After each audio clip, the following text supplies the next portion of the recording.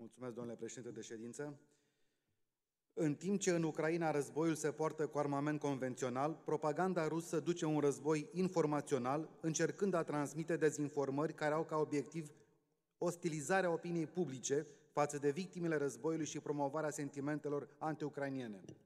Se generează foarte mult conținut informațional prin intermediul rețelor de socializare, care se viralizează foarte repede și este greu de verificat. Una dintre strategiile folosite de Rusia este cea de dezghețare a unor conflicte sau dispute anterioare, care sunt prezentate ca fapte recente și care au rolul de a submina capitalul de credibilitate de care se bucură Ucraina în lumea occidentală. În această categorie pare a se încadra și dezvăluirea pe surse preluată de o parte a media din România, conform căreia Ucraina ar fi început dragarea canalului Băstroe cu scopul adâncirii acestuia. Înainte ca informația să fie confirmată oficial, unii politicieni, în încercarea de a-și spori capitalul electoral, s-au grăbit să o aducă în atenția publicului. Reacția autorităților a fost promptă. Reprezentanții administrației rezervației biosferei Delta Dunării au precizat într-un comunicat oficial că nu a fost primită nicio solicitare pentru aprobarea unui proiect care să vizeze adâncirea șenalului navigabil al canalului Băstroe, proiect care ar presupune lucrări de mai mare amploare decât dragarea.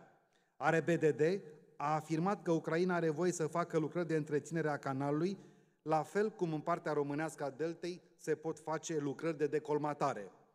La rândul său, Ministerul Afacerilor Externe și Ministerul Mediului au precizat că nu s-a primit nicio informare privind execuția unor lucrări de adâncire a canalului Băstroe, care ar putea pune în pericol biodiversitatea deltei Dunării. România a fost, încă de la începutul agresiunii rusești, unul dintre principalii susținători ai Ucrainei și va acorda în continuare tot sprijinul pentru gestionarea crizei economice și umanitare provocate de război. În același timp, România se opune ferm includerii canalului Băstroe în rețeaua europeană de transport, deoarece este necesar ca proiectul să respecte prevederile de drept internațional și mai ales reglementările de protecție a mediului. Poziția Comisiei Europene a fost transmisă de către Comisarul European pentru Transporturi, Adina Vălean, care a declarat că executivul european nu poate aproba solicitarea Ucrainei de a introduce brațul Chilia într-un coridor european de transport naval, întrucât celălalt stat riveran, România, nu este de acord.